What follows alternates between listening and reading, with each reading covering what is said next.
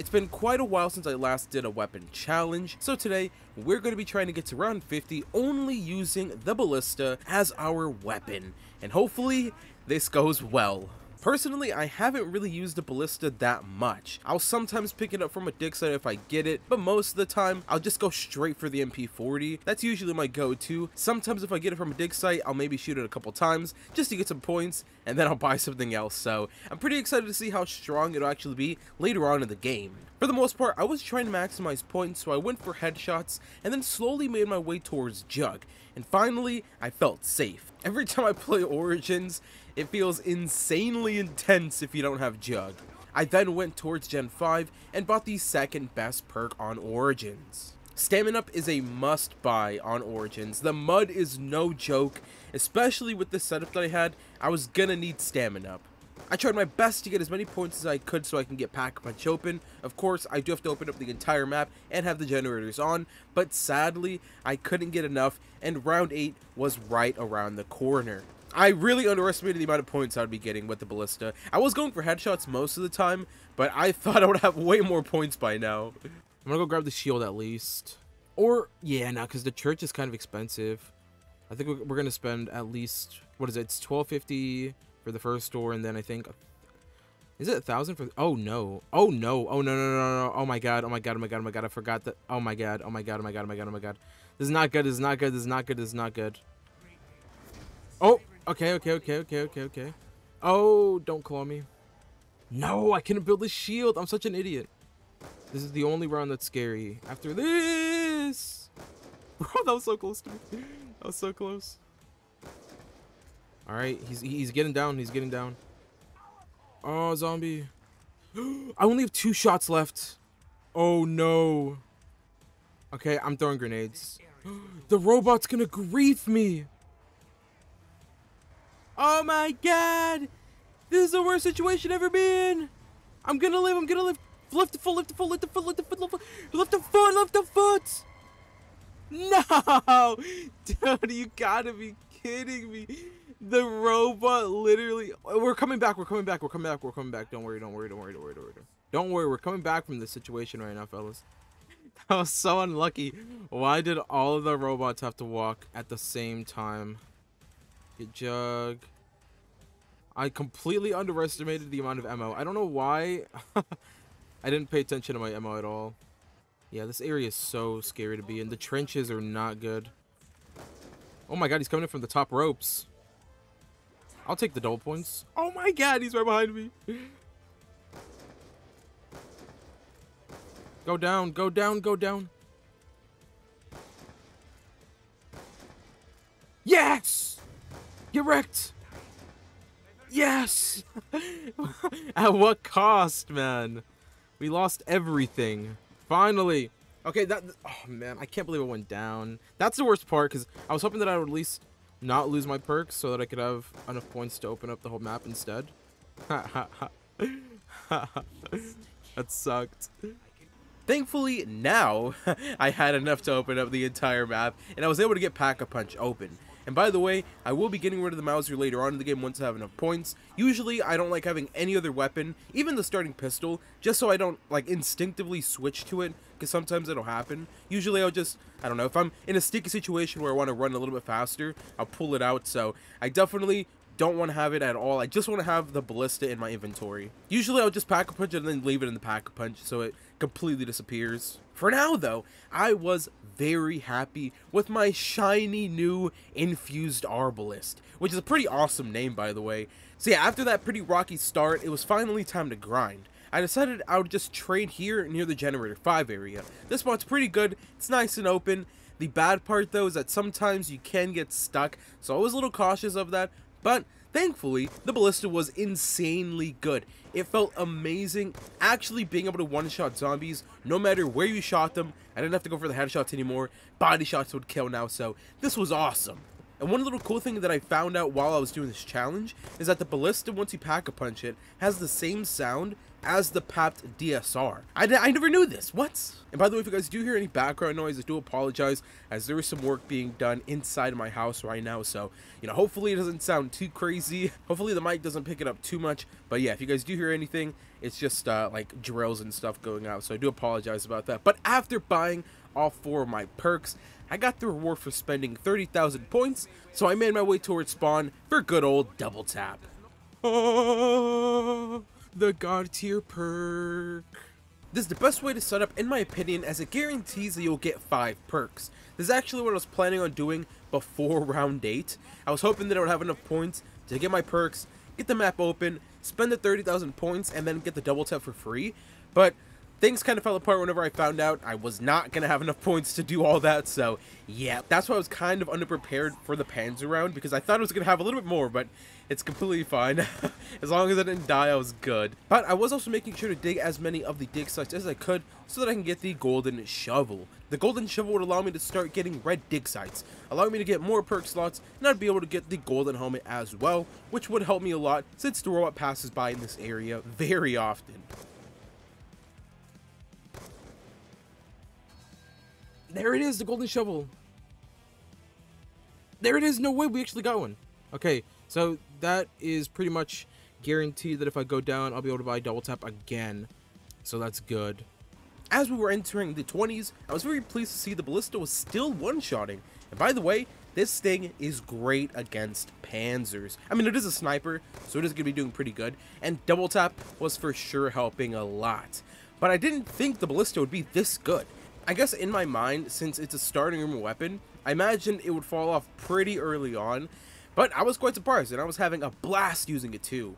As I passed the one hour mark, by the way, I don't know what I was on this day because one hour for 22 is wild, but I got my shiny new helmet and I was now comfortable getting stepped on by the robots. So if you guys haven't watched any of my previous weapon challenges, I kind of like to do this thing where I round lock equipment Essentially, I was allowed to buy or get certain equipment, like the claymores or monkey bombs, but I needed to hit a certain round to actually buy them. I like to do this as it spices things up, and it makes me feel like I'm working towards something else and not just going for the rounds. So for this game, I needed to get to round 30 to be able to buy the claymores, and if I wanted to, I could also go for the G-Strikes or Monkey Bombs, but I had to get to round 40 first. Of course, this is the Ballista only challenge, so I mainly wanted to use that, so I kinda like these rules, as it just makes it more fun.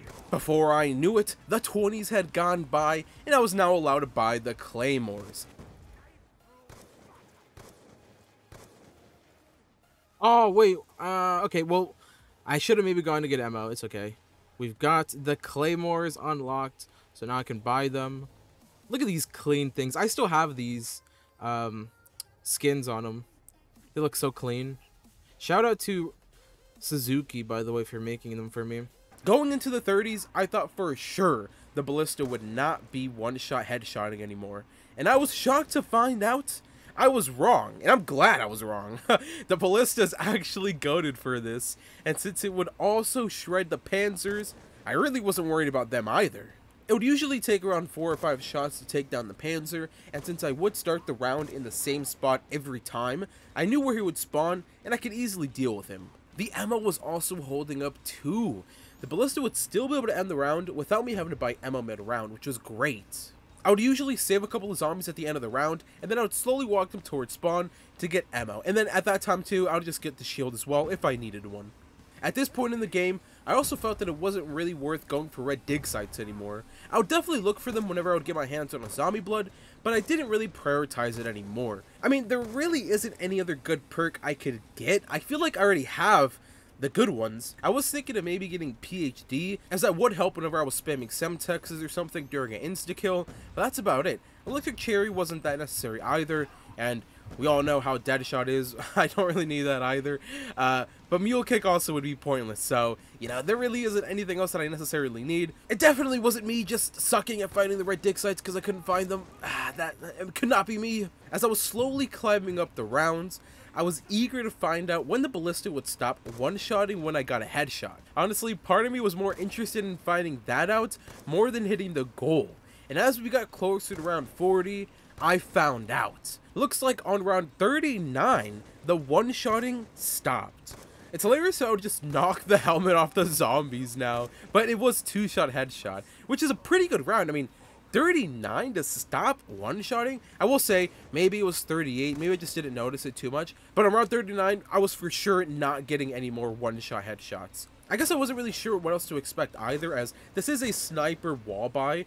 Most of the time, with ARs, SMGs, shotguns, they really won't do the best damage. I guess maybe shotguns are also pretty good as well. I actually haven't done a shotgun only challenge. Boys, let me know. Hit the like button if I should do that. But you know, it's a sniper, so you would imagine that the headshot multiplier on the sniper is really good. And of course, with the effect of double tap, this thing is really, really good. I, I'm surprised. This is a good round. Also, the claymores were barely even killing anymore, and they mainly made a bunch of crawlers. This actually did screw me over a couple of times, and the crawlers were still pretty strong, and I would actually have to shoot them in the head a couple of times, so, you know, the claymores we're we're falling off for sure now. so I guess the real grind had finally started. Now that we're killing the zombies way slower, I knew going into the 40s, things were about to get ugly. So you know how I was talking about maybe getting the monkey bombs or G-strikes now that I hit round 40? Well, I decided against it. I felt it was really not necessary at all, and once I got this far, I realized they would not help as much as I originally thought. Thankfully, we hadn't gone down since the first Panzer round, so I felt good about playing without them. It also didn't help that I only had 3 out of the 6 generators on at this point, and it sucked that the box was at one of the generators that wasn't on. Since I didn't need Pack-a-Punch and I already have my setup, I just let some of the generator zombies take down most of the generators so that they wouldn't spawn anymore. I just felt that it would be way too dangerous to even try defending the generators, so most of them just turned off. By the way, this was streamed on Twitch, so if you're interested, check the link in the description. It'd be awesome to see some of you guys over there. Now it was sinking in. It was taking three headshots to kill a zombie. But I had to see it through. We were already too deep. It's we're almost there. At this point, I needed to go buy ammo at least once a round to finish it, which made things take way longer. Oh, I'm gonna get stepped on. Your boys was going for uh, around 100 on. Oh my god, I can't read the chat.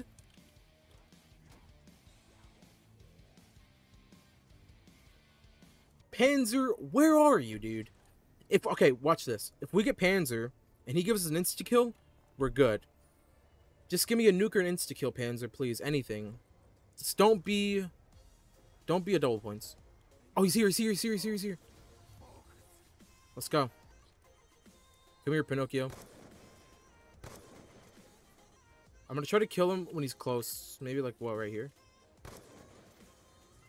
No, no, no, no! No, no, no, no! No! No, no, no! No way, the Panzer actually got me.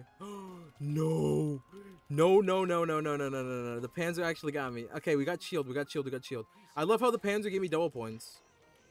No way! It took so many shots! Oh, we're chilling. We're chilling, we're chilling, we're chilling, we're chilling, we're chilling, we're chilling. Uh, oh, we're not chilling. Panzer, no, he actually grabbed me. No, that was so bad. Imagine if he would give me a nuke and I would have got out of that. Damn it. To be fair, I've been very close to death, so I kind of deserved that. Alright, so let me see if I can get double tap back at least. We don't have all the generators on, so I'm not going to be able to buy all the perks back immediately. Okay, double tap is good. We have generators 3, 4, and 5. 3, we can get speed cola back. If I can get quick revive out of this, that'd be awesome.